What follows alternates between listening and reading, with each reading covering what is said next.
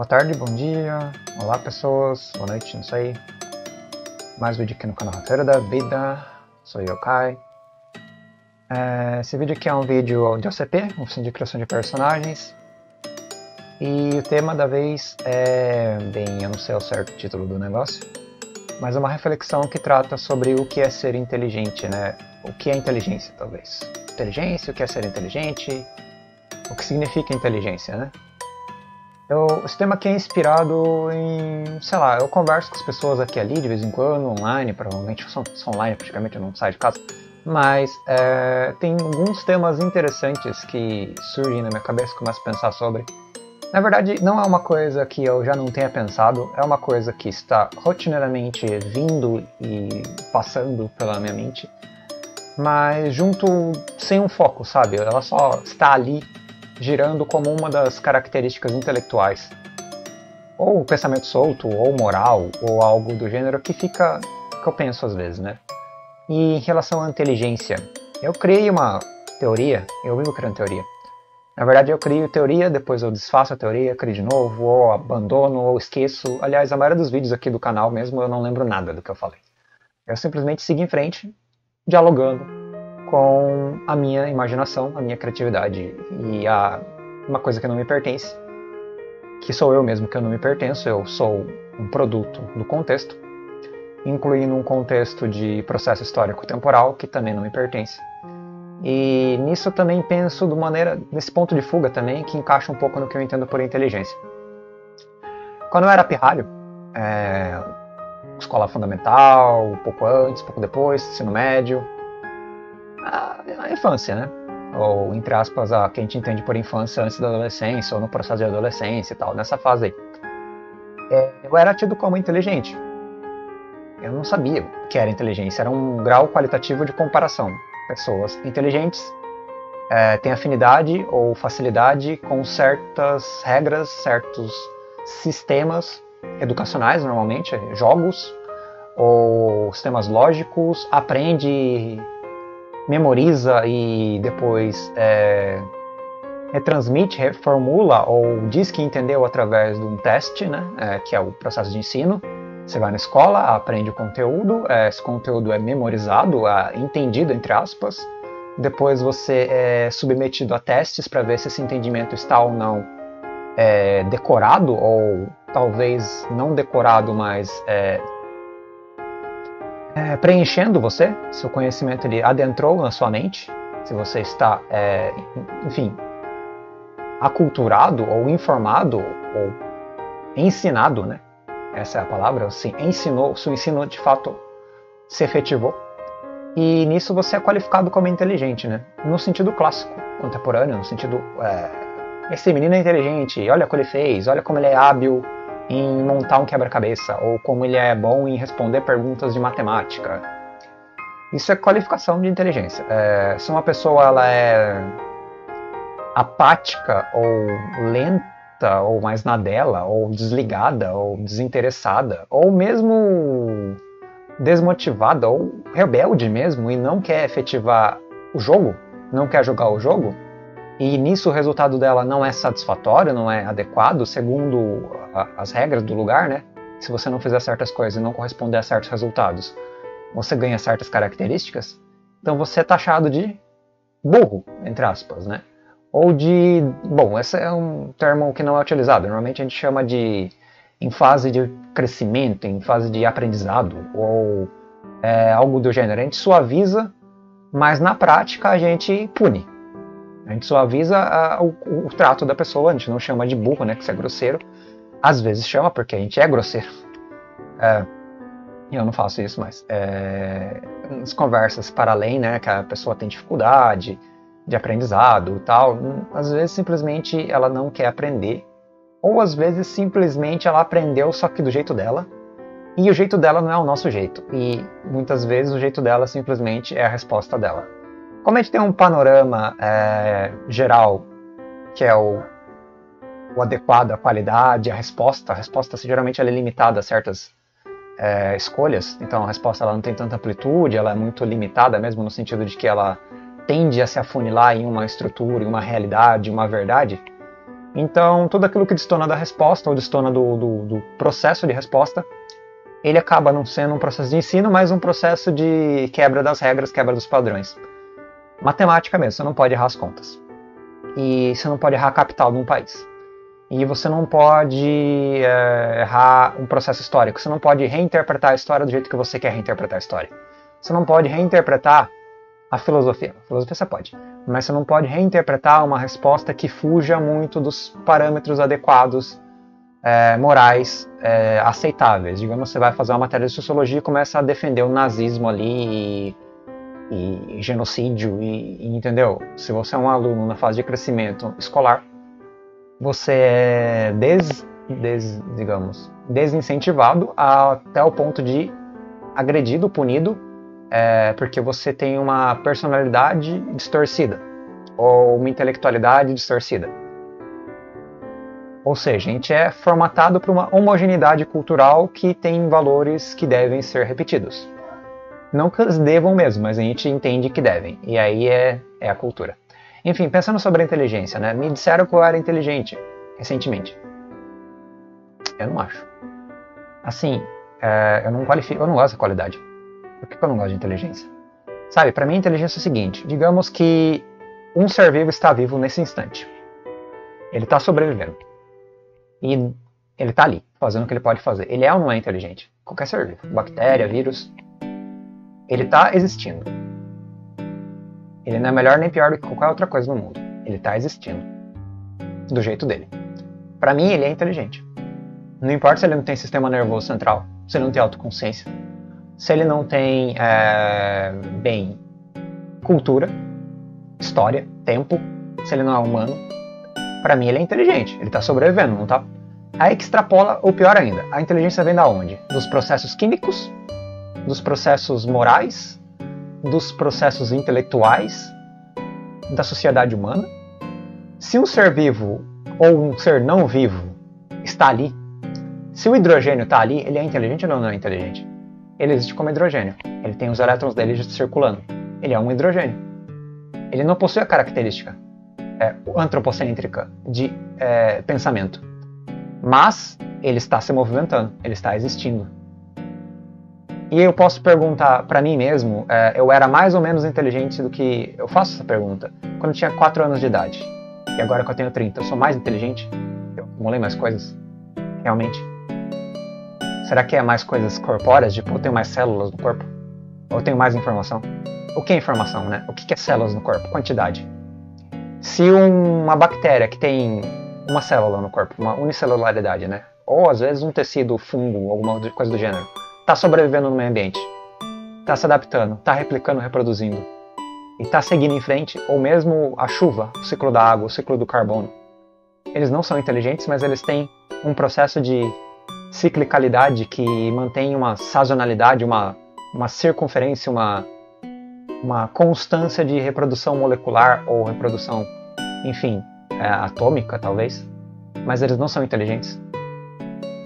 A inteligência mental é o meu cérebro. O meu cérebro é feito do quê? Elétrons? Tem elétrons no, no hidrogênio? Tem elétrons no meu cérebro? Então a inteligência é a soma da interação dos, dos elétrons dependendo do quanto eles são caóticos ou potenciais ou ordenados, que geram a, a interpretação do meio e a linguagem e o controle do corpo físico. Se eu estou vivo, eu sou inteligente. Se eu estou morto, eu não sou inteligente. As pessoas que já morreram não são inteligentes mais, elas já eram inteligentes. Eu compreendê-las, eu estou compreendendo o quê? Se elas escreveram alguma coisa, eu estou lendo o quê? Se elas fizeram uma matemática, uma conta ali, ou tiraram uma foto, eu estou enxergando o quê? Estou enxergando algo que não existe mais? Ou algo que ainda existe? Ou algo que mudou de forma? Onde está a inteligência nesse objeto? A minha inteligência de reconhecimento é maior que a dela, que já morreu? A língua que eu falo é a mesma língua que ela? Então é um conceito assim, eu, eu acho grosseiro, porque ele é hierárquico. Eu não gosto de coisa hierárquica, eu odeio coisa hierárquica. Na verdade, eu realmente não gosto de hierarquia. Mas inteligência. Você é mais inteligente do que eu porque você estudou 20 anos na faculdade? Porque você é, sei lá, é engenheiro ou advogado? Você é mais inteligente que uma pessoa que acabou de nascer ou não? Aí você vai ter essas gradações, são gradações extremamente morais, qualitativas. no sentido é, sociais. Elas são social, socialmente estabelecidas. Então, do ponto de fogo humano, a gente é inteligente. Os outros animais que são menos complexos e utilizam menos ferramentas, ou menos moldam menos o meio ambiente, ou moldam menos as suas próprias características de comportamento ou de cultura, são inferiores? E são menos, né? não são tão potentes, não são seres iluminados, não compreendem a realidade, não compreendem a consciência ou a divindade, não compreendem a ciência, mas existem. Então, eu acho assim que inteligência é a plenitude da existência. Se você existe, você é inteligente. E inteligência é existir. Agora, se você quer agradar em seres só orgânicos, tudo bem. Todos os seres que estão com competência se reproduzindo e se propagando são seres inteligentes. Você precisa tanto deles quanto eles precisam de você, porque a teia da vida não tem pontas soltas. Então, você e as bactérias precisam umas das outras.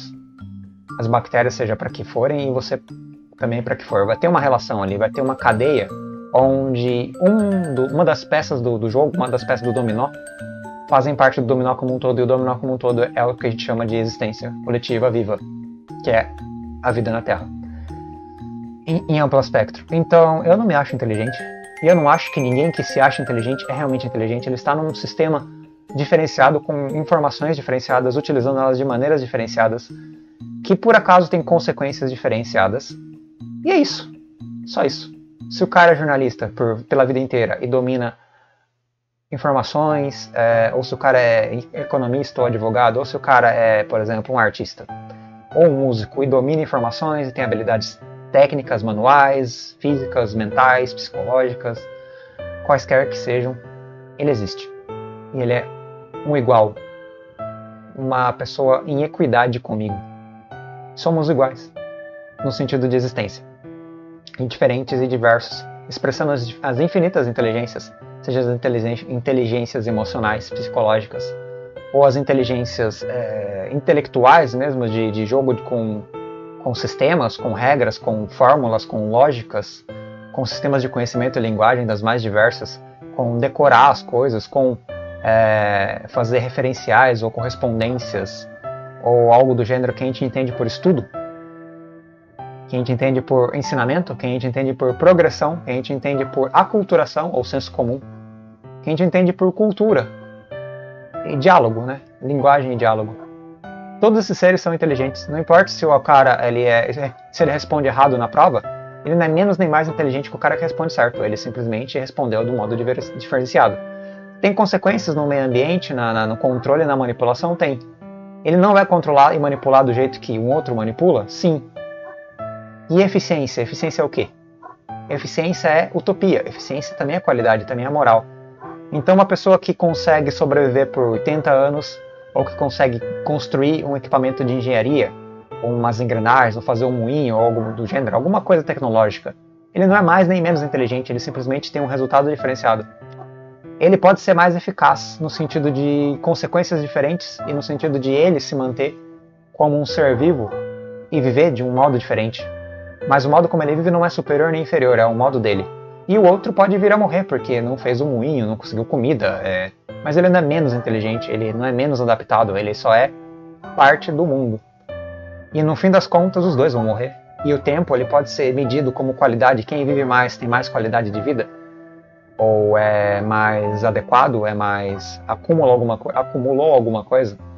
Mas será mesmo é, que eu sou melhor porque eu vivi mais? Ou porque eu tenho mais acúmulo de alguma coisa? Ou mais é, informação ou mais, enfim, potência nas minhas ações, mais êxito nas minhas ações, eu não me acho inteligente. Eu não acho que ninguém é mais que ninguém. Tudo bem, pessoas se comportam de maneira diferente, você quer encontrar alguém inteligente, você quer dialogar com alguém inteligente. Mas quer saber, no fundo, no fundo, no fundo, todo mundo é muito, muito, muito efêmero, muito é, limitado. A inteligência é uma fronteira de, de, de alienação. Se eu sou inteligente em um ângulo, eu sou completamente tolo em outro. Se eu sou completamente tolo nesse outro ângulo, eu sou completamente inteligente em outro ângulo. Mas aí tem a pegada de você julgar o qual é o qual desses ângulos. E aí é uma construção de outro sistema que novamente faz um juízo, que novamente faz uma estrutura moral, que condiciona o que é e o que não é, o que deve e o que não deve ser.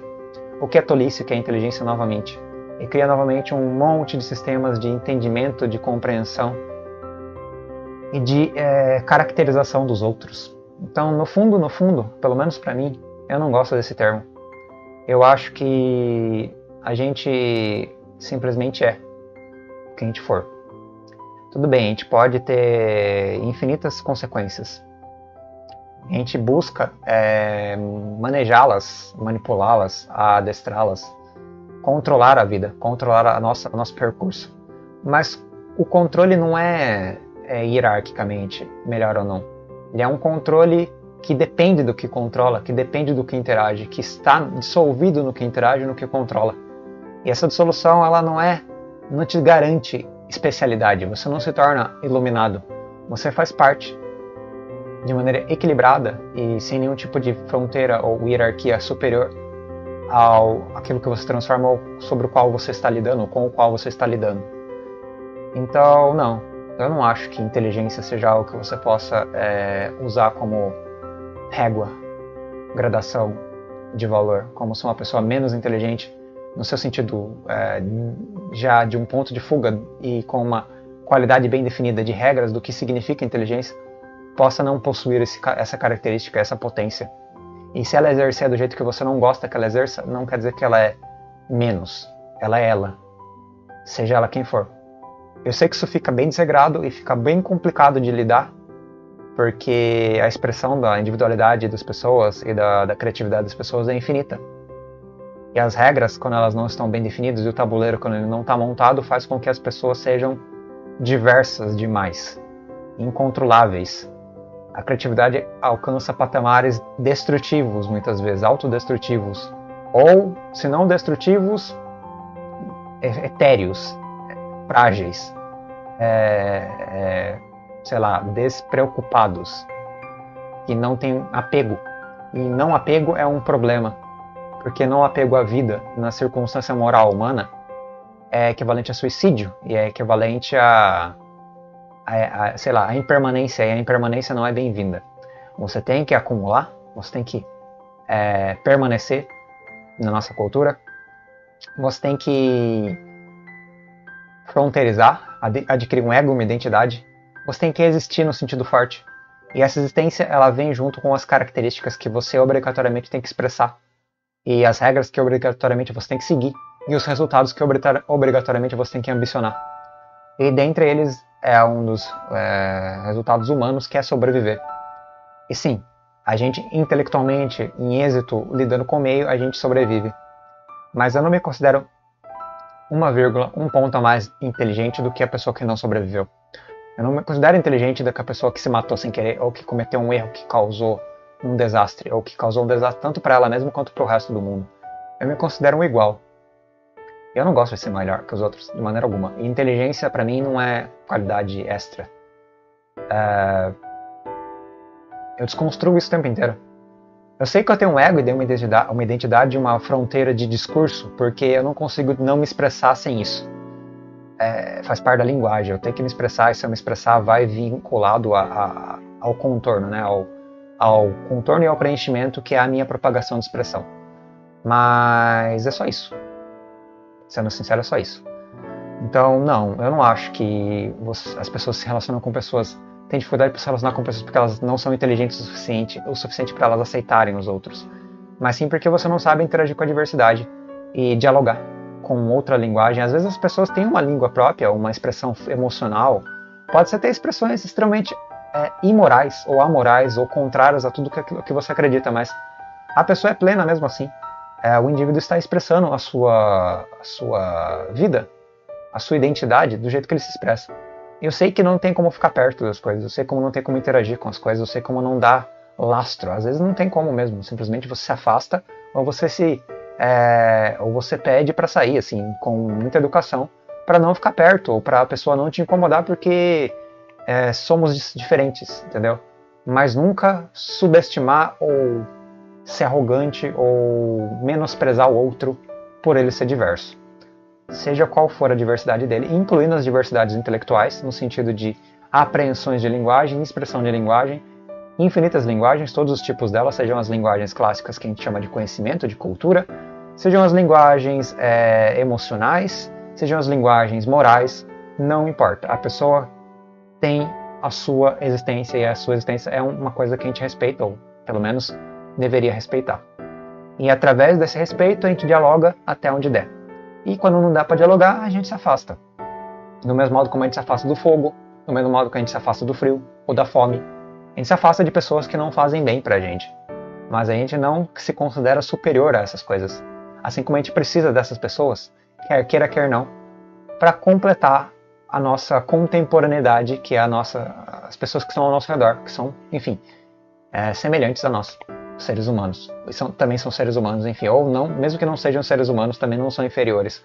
Estão coexistindo, estão cooperando, estão coabitando na mesma faixa de realidade que a gente e na mesma sincronia temporal e espacial. Porque se a gente percebe ele, se a gente nomeia, se referencia a ele, ele está junto a nós. E a gente também é ele. E ele é a gente, e a gente é ele. É tipo aquela amálgama, onde não tem realmente uma fronteira. E a gente nomear o objeto faz parte com que o objeto se torne parte da gente. E quando ele se torna parte da gente, a gente também se torna parte do objeto. Porque é uma interação de vida de mão dupla. Eu sei que isso faz muito pouco sentido nos sentidos de objetos mais é, inertes, objetos não conscientes, mas não tem problema nenhum, porque a própria consciência é uma parte de construção é, bizarra e elaborada infinitamente para se descobrir o que de fato é. De onde vem e para onde vai, e onde está. Né? Consciência é bem complicado. Isso é, é, um pouco chato, é uma discussão, é uma discussão um pouco é, livre demais, sem hierarquia, sem lastro, sem, sem regra e solta na realidade, é, eu sei disso. Eu sei que você precisa de, de patamares de compreensão, patamares qualitativos. Então você usa os patamares qualitativos sem peso. Você usa eles como instrumento de diálogo, mas nunca como instrumento de opressão, como diferenciação, como instrumento de segregação, porque você não deve segregar o outro porque ele é diverso. Esse é o máximo que você pode fazer, e eu não me considero inteligente também por isso. Eu sou eu, eu faço as coisas que eu faço. Eu entendo o mundo como eu entendo, eu falo as coisas que eu falo, não precisa concordar, discordar. Você é você. Você é livre para fazer o que você quiser. E a gente é livre para dialogar ou para não dialogar. Assim como você é livre para ouvir ou não ouvir, eu também sou livre para ouvir ou não ouvir. E a gente é livre para fazer acordos ou não acordos. Contratos. E para falar a mesma língua ou não falar a mesma língua. É bem isso mesmo que eu penso. Então eu não me sinto inteligente, só para dizer isso. Esse é um vídeo bem estranho, né? É bem estranho, eu sei para debater um pouco a, essa desvinculação de qualidades é, que eu não gosto de pôr em mim mesmo. Embora para se para se dialogar com as pessoas você precisa ter uma espécie de nome, uma espécie de, de propriedade característica que digam que você é alguma coisa para que as pessoas consigam entender você como alguma coisa. E se elas não te entendem como alguma coisa, você não consegue estar dentro do mesmo da mesma da mesma energia e a pessoa ela te abandona. Na verdade, eu sou bem abandonado, é um dos motivos.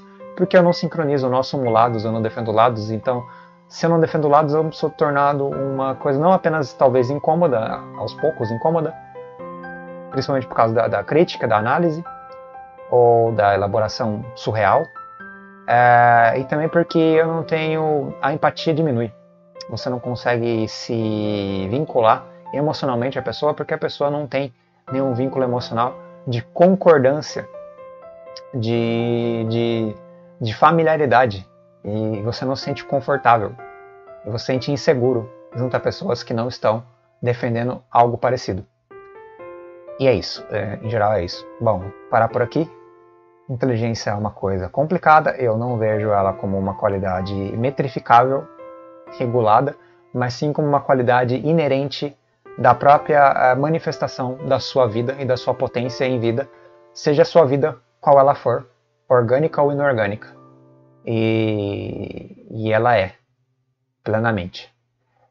E todas as outras qualidades também são assim. Mas estou focando na inteligência porque foi uma coisa que me irritou um pouco, no sentido de eu não me sentir merecedor de qualificação, me tornar hierarquicamente superior às outras pessoas, porque se eu sou inteligente, alguém não é.